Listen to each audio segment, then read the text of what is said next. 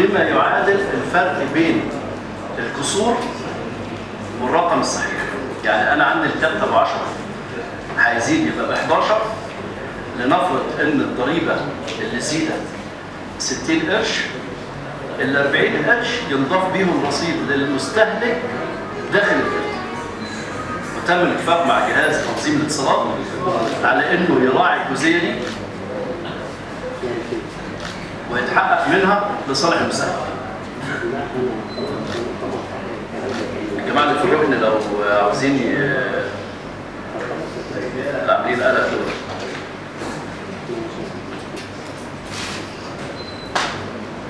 طبعا آه، الجديد في قانون ضريبة القيمة المضافة وأعتقد كلكم عرفتوه قبل كده بس لمحة سريعة عنه.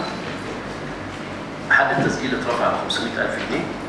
في الفترة الحالية كل من سيتم إلغاء تسجيله عليه إن هو يقدم إقرار ضريبي عن الفترة السابقة على تطبيق القانون أو على على إلغاء تسجيله آه، خلال شهر. من حقه إن هو يقدم طلب للاستمرار في التسجيل لأن زي ما حضراتكم عارفين إن في ناس كتير من الممولين يهمه يستمر تسجيله لأن عملائه مسجلين وبالتالي بيحتاجوا فاتورة ضريبية عليها ضريبة بحيث إن العميل بتاعه يخصم الضريبة اللي سددها له من التكلفة بتاعته.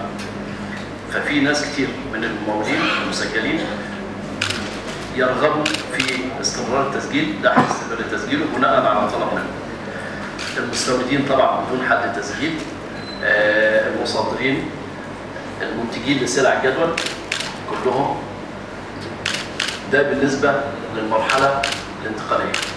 في عندي آه، برضو آه، إقرار عن سلع جدول مع قيمة مضافة. يعني في بعض السلع تخضع لضريبة الجدول بالإضافة للسعر العام للضريبة وده الهدف منه عشان يبقى واضح وصريح.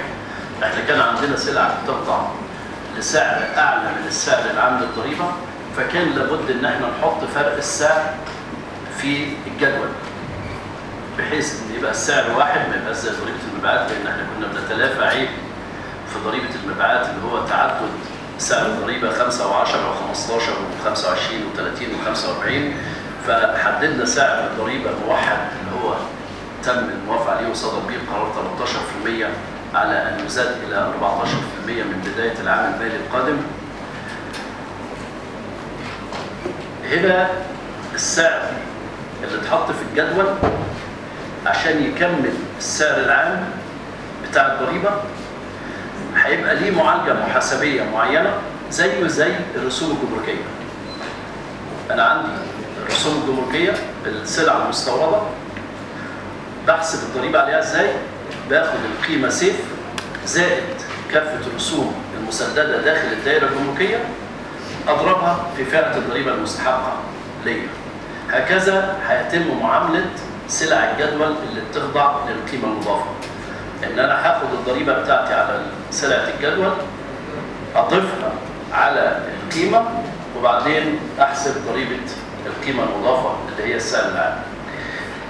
دي معالجه ضريبية سهلة وميسرة لأن إحنا اعتدنا عليها زي ما بقول لحضراتكم في معاملة السلع المستوردة.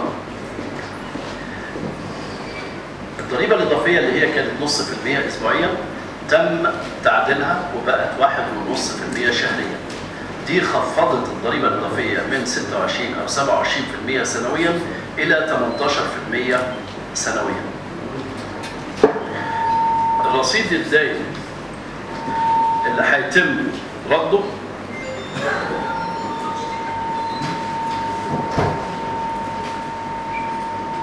في ظل المبيعات ما كانش فيه حاجة اسمها رد الرصيد الدائم في ظل القيمة المضافة استحدث رد الرصيد الدائم المتراكم لمدة ست فترات متتالية. يعني لو في مصنع أو في تاجر وعنده رصيد دايم فعلي نتيجه مخزون سلعي موجود لديه استمر لمدة ست فترات ضريبية متتالية من حقه إن هو يقدم طلب ويسترد الضريبة المستحقة على هذا الرصيد. الهدف منها إن أنا أوفر سيولة لدى المنتج أو التاجر إن هو يشتري تاني خامات وينتج وبالتالي أنا مستفيد يعني إذا تراكم عندي آه، رصيد لمدة ست شهور وطبعا على مستوى العالم النهارده الكل بيحارب حتة تراكم ال- الرصيد لأن الاستهلاك النهارده أحسن من بكره وبيوفر السيولة النقديه وبالتالي دي ما بتخوفنيش ولا بتقلقني كمصلحة ضرائب.